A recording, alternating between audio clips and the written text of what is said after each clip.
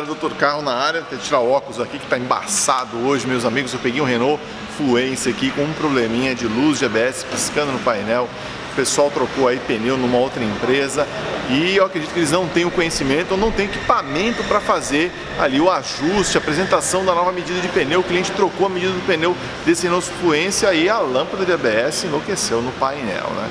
Bom, não dá para viver sem um bom equipamento hoje na oficina, seja você uma empresa só de freio, só de suspensão ou só de alinhamento principalmente. Para fazer um alinhamento de direção precisa entrar com scanner, fazer a apresentação do ângulo do volante, senão o ESP, o controle de estabilidade fica maluco.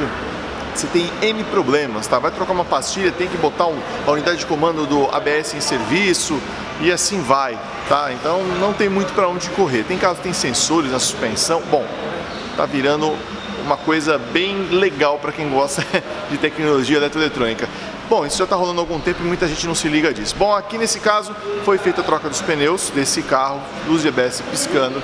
Ele procurou a gente aqui, a gente entrou com o scanner, foi ler código de erro, tem código de erro de freio de mão, de lona traseira, isso tudo muito fácil de resolver mas também tem ali ó, a apresentação do tipo de câmbio, câmbio mecânico ou câmbio automático, nesse caso aqui, câmbio mecânico, então faz a apresentação, beleza?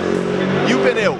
Faz a apresentação, não estava reconhecendo a medida do pneu, provavelmente já saiu rodando e percebeu que houve uma alteração ali na velocidade, mediante rotação e tal, e já pediu também a apresentação, obrigando ao profissional a usar equipamento fazer a apresentação da medida de pneu. Repara que tem uma lista enorme de medidas e o profissional tem que entrar. Olha só, só para fazer uma troca de pneu tem que ter um equipamento como esse aqui, ó, à sua disposição, tá vendo? Então, isso aqui é o famoso scanner automotivo, tá, gente?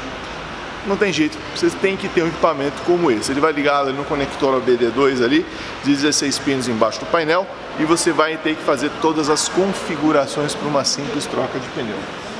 Isso vale muito para carros que têm ABS, que tem motor de estabilidade, não tem muito para onde correr. Ou seja, todo carro desde 2014 tem ABS e todo carro praticamente vai ter controle de estabilidade. Quem não sabe o que é controle de estabilidade, sabe aquela parada de você entrar muito forte numa curva e o carro deslizar de lado e dar numa árvore bem no meio da porta? Hum, o controle de estabilidade previne esse tipo de coisa. Ele dá uma beliscadinha na roda de dentro, de trás, da frente, para chamar o carro de volta, para dar dirigibilidade para você. Ele tenta te ajudar ao máximo, claro, se você quiser bater o carro, você vai bater, mas ele tenta corrigir algum errinho que você teve de entrar muito forte numa curva. Então fica aí a dica. Trocou pneu? Tem que procurar uma oficina que tenha o equipamento para fazer a apresentação da nova medida ali do pneu, fazer a, a apresentação do modelo de câmbio, se é mecânico, se é automático e assim vai. Bacana? Bom, espero que você tenha gostado dessa dica e lembrem, ó, você quer comprar pneu, meu amigo, ó, faz um shopping no canal da peça, tá? Aqui você consegue pegar os preços de pneus. Não precisa ficar suando a tanga, minha gente, correndo por aí. Eu faço a cotação aqui. Muitas vezes o meu cliente não está com pressa, eu pego e compro no canal da peça o pneu com preço muito bacana. Fazer um shopping para comprar e até para usar o, até, o teste de compatibilidade também, tá? Eu também tenho um outro aplicativo que eu já mostrei para vocês, mas eu quero relembrar. Por exemplo, eu que gravo o vídeo, preciso estar sabendo sempre o ano e o modelo do carro, ou entro com o scanner, preciso dessa informação. Também tem o Cinesp Cidadão, tá?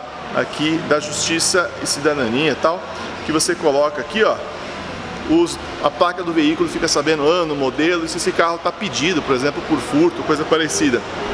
Põe a placa do carro e vai te ajudar muito, amigo profissional ou consumidor que vai comprar um carro e está com medo de comprar um carro roubado aí. E assim vai. Então, canal da peça, um aplicativo para você comprar, você fazer um monte de coisa, tá? Entra lá no Google Store, na Apple Store e também você pode baixar o Cinesp Cidadão, também é um outro aplicativo que eu indico, são as ferramentas que eu uso no meu dia a dia, bacana? Então tá aí, trocou pneu, deu chabu, amigo? Já sabe, não tem para onde correr, amigos reparadores. Scanner na oficina é obrigatório.